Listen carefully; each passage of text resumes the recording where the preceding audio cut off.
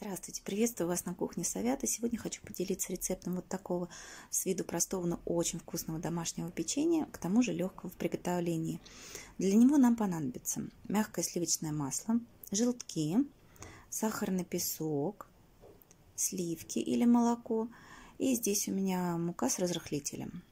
Сначала добавляем сахарный песок к мягкому сливочному маслу и будем взбивать это на высоких оборотах миксера. А, не, не торопитесь здесь. Э, здесь важно эту массу взбить до посветления, пышности и увеличения в объеме. Именно от того, как хорошо вы взобьете масло с сахаром, будет зависеть качество вашего печенья, его нежность и рассыпчатость. Видите, вот масса у меня посветлела, стала больше в объеме, и теперь я начинаю добавлять желтки. Желтки лучше добавлять постепенно, перемешивая после каждого, тогда масса у вас лучше соединятся, и впоследствии не будет проблем с комочками. После того, как ввели все желтки, а, вводим сливки или молоко, смотря что у вас есть. Иногда я добавляю лимонный сок свежевыжатый, иногда апельсиновый. То есть э, вот этот момент – это фактически ароматизация вашего печенья. Мои домашние больше всего любят со сливками, поэтому я вам показываю вариант со сливками. После того, как объединились все ингредиенты, добавляем муку. А, добавляем за один раз, не нужно ничего просеивать, даже не мучайтесь. Просто всыпаем ее и начинаем перемешивать уже на низких оборотах миксера.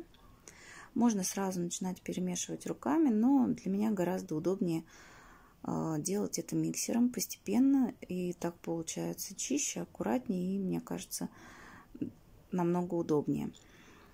Сначала масса у вас начинает быть похожа на песочек, а потом она начнет постепенно комковаться и накручиваться на венчики миксера.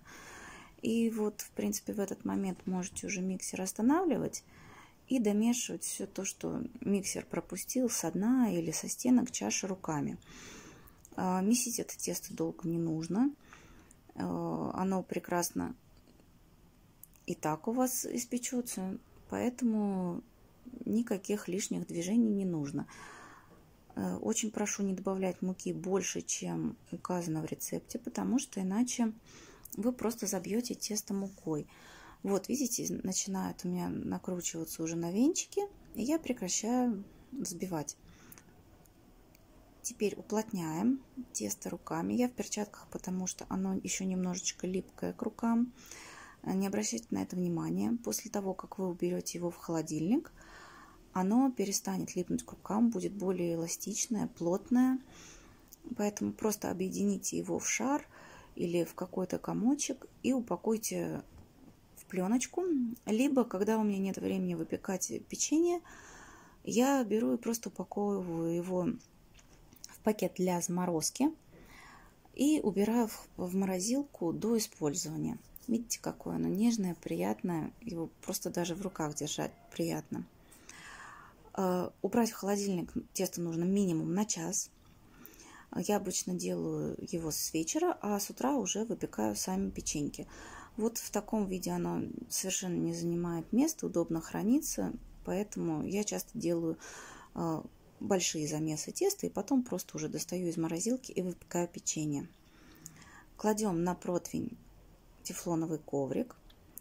И я не мучаюсь никакими формочками, просто отщепляю кусочки теста, формирую вот такие вот лепешечки и раскладываю уже на противень.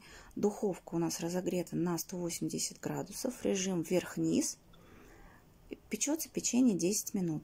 Когда раскладываете его на противень, э, учитывайте, что оно увеличится в объеме примерно в два раза поэтому не кладите близко, иначе оно просто слипнется. Я также после раскладывания и формирования печенек добавляю еще шоколад.